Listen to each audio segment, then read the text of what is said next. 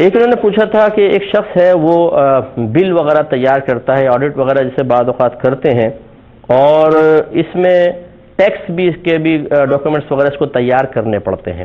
اب سائل نے پوچھا ہے کہ یہ ٹیکس وغیرہ جو ہے ایک مالی جرمانے کی سی صورت ہے، اور مالی جرمانہ تو منسوخ ہو چکا ہے، تو اس کا بل بنانا کیا جائز ہوگا یا ناجائز ہوگا؟ کیونکہ بل بنائے گا، اس کی اجرت لے گا، اور ٹیکس کی ٹیکس کے بل بنا رہا ہے۔ اور ٹیکس ان کے کہنے کے مطابق فی نفسی ہی مالی جرمانہ ہے، تو پھر اس کے بل بنانے کی اجرت لینا کیسا ہے؟ دیکھیں، پہلی بات تو سمجھ لیں کہ ٹیکس جو ہے وہ مالی جرمانہ نہیں ہوتا ہے۔ یہ سمجھ لیجیے، ٹیکس تو آپ کے مال سے کچھ پیسہ لیا جاتا ہے تاکہ اس کو ملک کی فلاح و بقا کے لیے استعمال کیا جائے۔ رفاع عامہ کے کاموں میں اس کو استعمال کیا جائے۔ تو یہ اصل میں مالی جرمانہ نہیں لیا رہا۔ جرمانہ تو ہوتا ہے جرم کے بدلے میں۔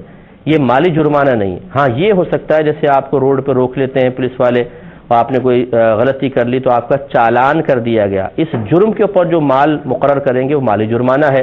ایسی جو بچے اسکول وغیرہ نہیں جاتے ہیں، چھٹی کر لی تو فائن لگ جاتا ہے۔ یہ ہے مالی جرمانہ۔ تو جرم کے بدلے میں جو مال دیا جائے اس کو مالی جرمانہ کہتے ہیں۔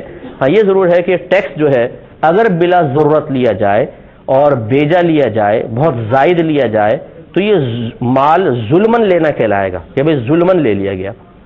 تو بہرحال ایک تو تصویر درکار ہے کہ اس کو مالی جرمانہ قرار نہ دیں، بلکہ یوں کہیں کہ بل فرض اگر ناجائز ٹیکس لیا جا رہا ہو، اس کے ڈاکومنٹس تیار کرنے پر اس کی اجرت لینے کا شرح حکم کیا ہے۔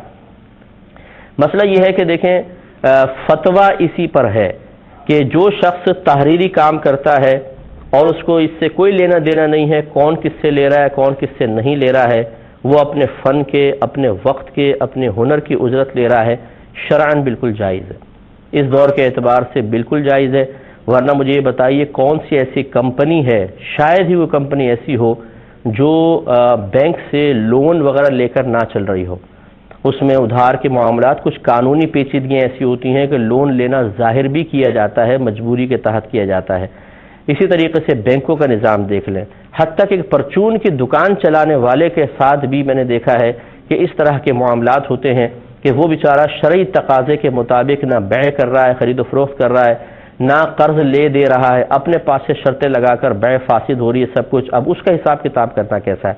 تو اگر ہم یہ کنڈیشن لگا لیں کہ بالکل طیب اور حلال کاروبار ہو اور اس میں کوئی ناجائز عنصر نہ ہو، اس کے جو پھر حساب کتاب کیا جائے گا، اس کی اجرت جائز ہوگی۔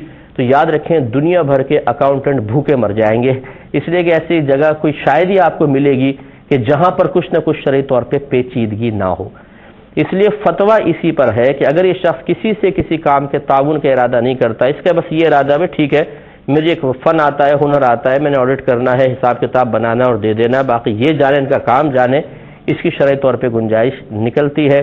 آج کل کے دور کے حساب سے فتویٰ اسی پر ہے۔ امام قاضی خان صاحب رحمۃ اللہ علیہ ایک بہت بڑے عالم گزرے ہیں، آپ سے پوچھا گیا اس زمانے میں، کہ آپ کے زمانے میں، کہ اگر کوئی مزدور ایسا ہے، یہ کنسٹرکٹر ہے، معمار ہے، وہ مختلف عمارتیں بناتا ہے، تو اگر اس کو گرجا گھر کا ٹھیکہ ملتا ہے، جس میں یقینی سی بات ہے کہ عیسائی عبادت کرے گا، تو وہ گرجا گھر بنا سکتا ہے کہ نہیں؟ تو آپ نے شاید فرمایا کہ وہ بالکل بنا سکتا ہے اور اس کی اجرت لینا بھی اس کے لیے جائز ہوگا۔ کیونکہ اس سے اس سے کوئی دلچسپی نہیں ہے کہ ہونی چاہیے کہ اندر کیا کرے گا، کون کیا کر رہا ہے۔ یہ اپنے کام کے پیسے لے رہا ہے، اپنے وقت کے پیسے لے رہا ہے تو اس کے لیے بالکل جائز ہے۔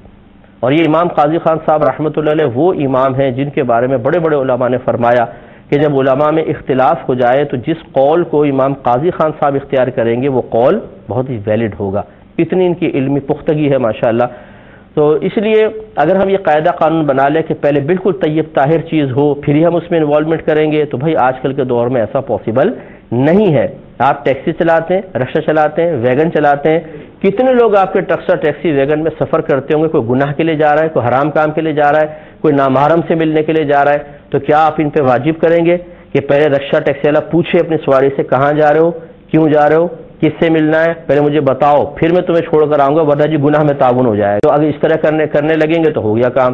اسی طرح مالی کے مکان اپنے مکان کو کرائے پہ چڑھاتے ہوئے اور مالی کے دکان دکان کو کرائے پہ چڑھاتے ہوئے پہلے سامنے بٹھائے اور پوچھے، بتاؤ گھر میں کرو گے کیا کیا؟ کیا کیا دیکھو گے؟ کس کس کو لے کر آؤ گے؟ کون کون میری چھت کے نیچے بیٹھ کر کیا کیا کام کرے گا؟ جب ہنڈریڈ پرسنٹ دیکھیں کہ صحیح کام ہوں گے تو پھر وہ مکان کرائے پہ دے، ورنہ نہ دے۔ اگر آپ یہ کنڈیشن لگا دیں گے تو آپ لوگوں کو سمجھ لیں، تنگ کر کے دین سے متنفر کر رہے ہیں، تو پھر آپ اللہ تعالیٰ اس کے رسول کی بارگاہ میں مقبول نہیں ہوں گے۔